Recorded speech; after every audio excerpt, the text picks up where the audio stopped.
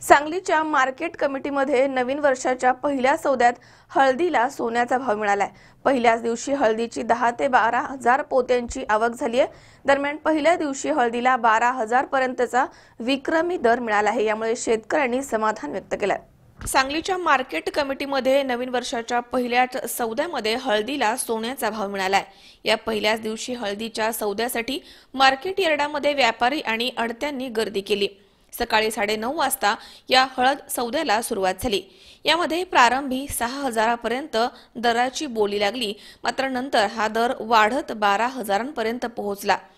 या वर्षीच्या या पहिल्याच हळद सौद्यामध्ये हळदीला बारा हजारावरचा भाव मिळाला आहे. या वर्षीच्या सौद्यामध्ये हळदीला सुरुवातीलाच चांगला दर मिळालाय. त्यामुळे शेतकरी वर्गामधनं समाधानाचं वातावरण आहे. यावेळी शेतकऱ्यांनी समाधानकारक दर मिळाल्यामुळे समाधान व्यक्त केलंय. सांगली मार्केट कमिटीनं हळद सौद्यासाठी मोठी व्यवस्था केली होती.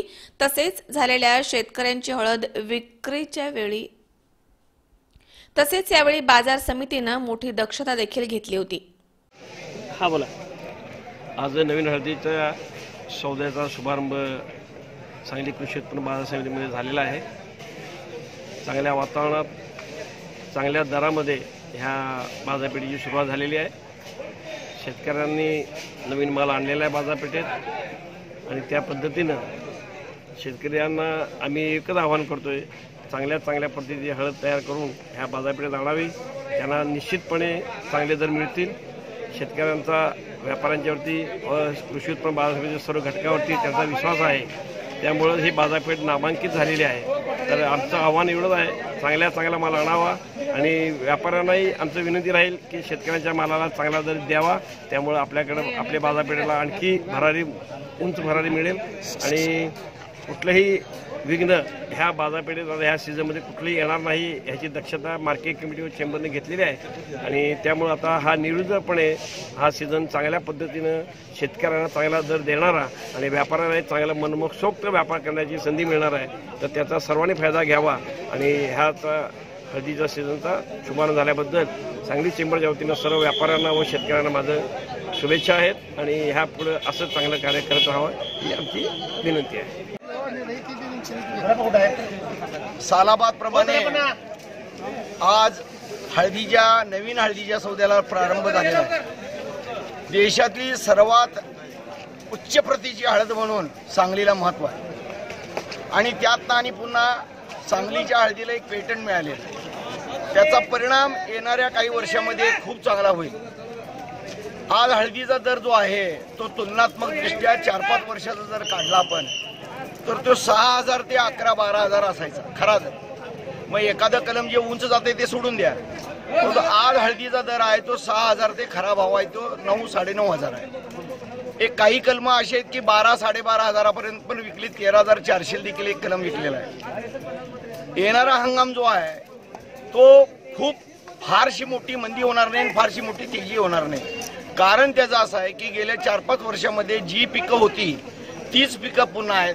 आणि जो स्टॉक पूर्वीचा होता तो स्टॉक पुन्हा आहे. त्यामुळे फारसं यामध्ये मोठी मंदी आणि मोठी तेजी तुर्तास अजून जवळजवळ रामनवमीपर्यंत होणार नाही. रामनवमीनंतर देशातले आंध्र तामिळनाडू तेलंगणा आणि इतर सगळे सेंटर ज्यावेळी चालू होतील आणि त्याचा सप्लाय ज्यावेळी जास्त असतोय त्याच वेळी हळदीला पुन्हा कुठेतरी बाबा त्यावेळी दर काय आहेत बघून स्टॉकिस्ट लोक लागू होत असतात. तुलनात्मक दृष्ट्या आपण यंदा व्यापार अत्यंत चांगला आणि सुरळीत चालणार. आजचे दर जे आहेत ते खरोखर खूप चांगले आहेत. आणि शेतकऱ्यांनी आतापर्यंत सांगलीवाल्यांच्यावर जो विश्वास ठेवलेला आहे माल इथं आणायचा आणि निवांत राहायचं आणि बघायचं आणि विकायचं तर हे नगदी पीक असल्यामुळे शेतकऱ्यांनी आपला हाच विश्वास कायम ठेवावा आणि सांगली कृषी उत्पन्न बाजार समितीमध्ये येणाऱ्या काही दिवसात आपला माल आणून विकावा. वर्षाचा पहिला सौदा व्यापाऱ्यांसाठी आणि शेतकऱ्यांसाठी कसा झाला? व्यापाऱ्यांच्या करता आणि शेतकऱ्यांच्या करता. हा सौदा पहिल्या दिवशीचा अत्यंत म्हणजे आनंदमय आहे. यामध्ये फारसं काही तेजीमंदी झालेली नाही आहे. क्वालिटी जी सुरुवातीला येत असते ती थोडी हलक्याबारी शेताची येत असते.